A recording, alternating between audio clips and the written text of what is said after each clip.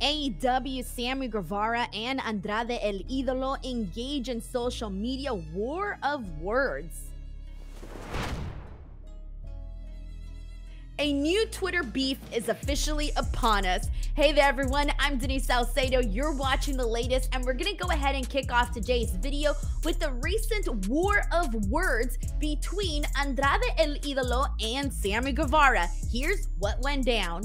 In what was either an elaborate work toward a future storyline or another real life backstage issue that has come to light, AEW Sammy Guevara and Andrade El Idolo took to Twitter Tuesday to engage in a social media war of words. The issue appears to have started with a Spanish language interview on Más Lucha that Andrade did on Monday, where he mentioned that the only wrestler he has ever had a problem with is Sammy Guevara. The interviewer essentially asked Andrade how he felt about the backstage drama that had been reported over the past couple of weeks in AEW, particularly between the Elite and CM Punk. This then led Andrade to talk about what went down with him and Sammy. Andrade claimed that Sammy Guevara complained he hit him both too hard and too frequently in an unspecified match. Andrade said he told Guevara that it was just wrestling, and if he hit Guevara too hard, he should do the same to him. He said he talked to Guevara without any physical altercation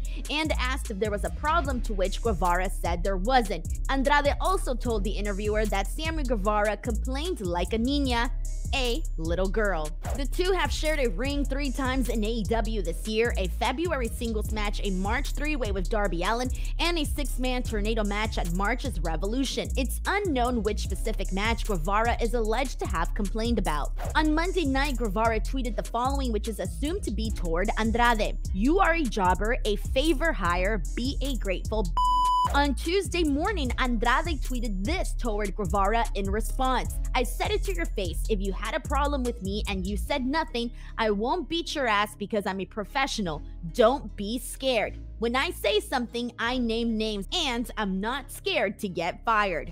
Guevara then retorted, denying an altercation took place and taking shots at Andrade for supposedly wanting to return to WWE, saying, quote, You didn't say shit to me, you liar, but here's some truth, you ungrateful prick. You should be jobless if it wasn't for your dad-in-law. Are you really mad at me or mad at yourself for failing to get over a second time? Just go back to WWE like we all know you want to do and off.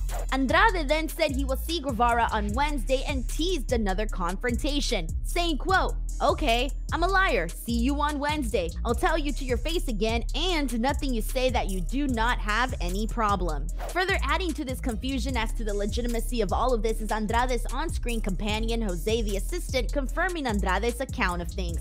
However, Andrade and Guevara are currently not in any storyline together, nor has there been any tease of one recently.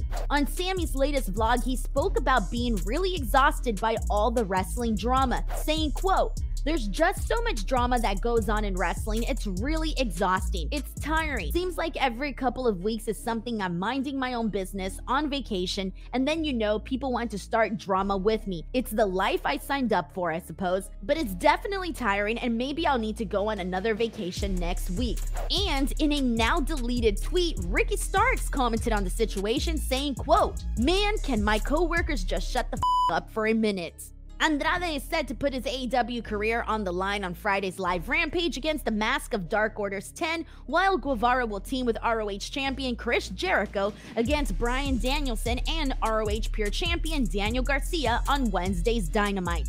Well, what are your thoughts on the recent Twitter beef between Sammy Guevara and Andrade? Go ahead and let us know in the comment section below. Other than that, I will see you guys back here on another episode of The Latest.